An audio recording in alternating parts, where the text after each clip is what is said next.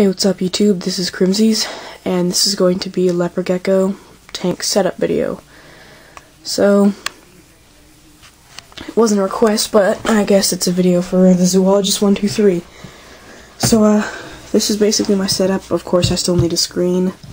Um, I have two homemade hides, but I put terrarium carpet, terrarium carpet on the bottom of both of them, so gives it a more natural feel to Leopard Gecko have a mealworm dish, uh, one of those regular hides you can get from the pet stores, uh, a water bowl, and those stick things for it to rub on when it's shedding. And those bricks because they retain a good amount of heat. Um, the only things I need right now are a day bulb and the screen, so yeah. Just need to get those and then the leopard gecko. I'm getting a Super Hypo Tangerine Carrot Tail 100% Het Albino. So, uh, yeah.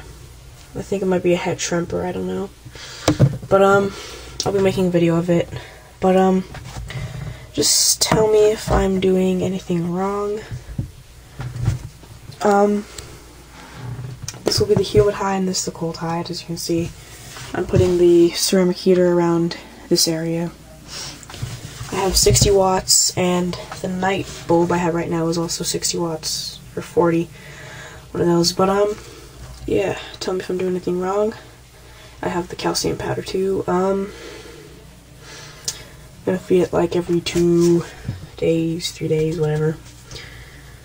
Um, yeah, so this is just my basic setup. Sorry if I sound tired. I am very tired right now. So, uh, yeah. See you later, YouTube.